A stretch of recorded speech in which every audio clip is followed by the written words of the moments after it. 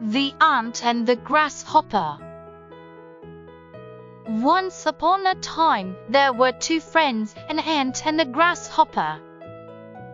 The ant was hardworking and always busy collecting food for the winter. The grasshopper, on the other hand, loved to sing and dance, not thinking about the future.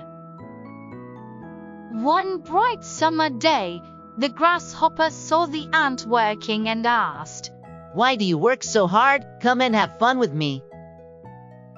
But the ant replied, I must gather food for the cold days ahead. When winter came, the ground was covered in snow and there was no food to be found. The grasshopper was hungry, shivering. He went to the ant and asked for help.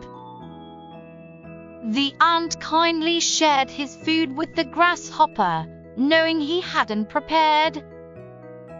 The grasshopper learned a lesson about being prepared and working hard.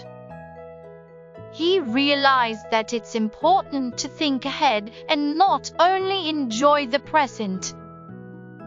From that day on, he promised to work and save for the future. The moral of the story is that hard work and preparation pay off. It's important to think ahead and be responsible. Thank you for watching. Please like and subscribe for more moral videos. Take care until next time.